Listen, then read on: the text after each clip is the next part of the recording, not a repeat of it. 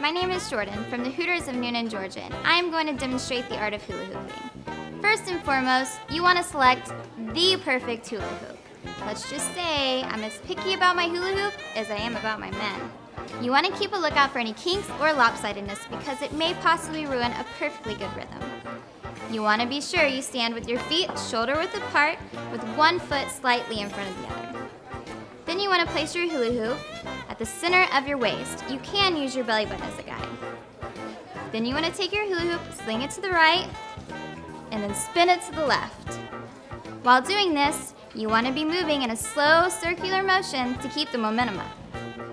When you've got this down, you could try this.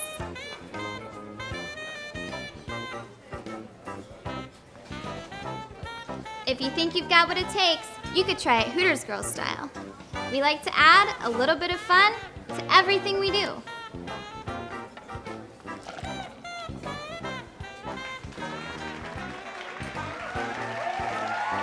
Bottoms up.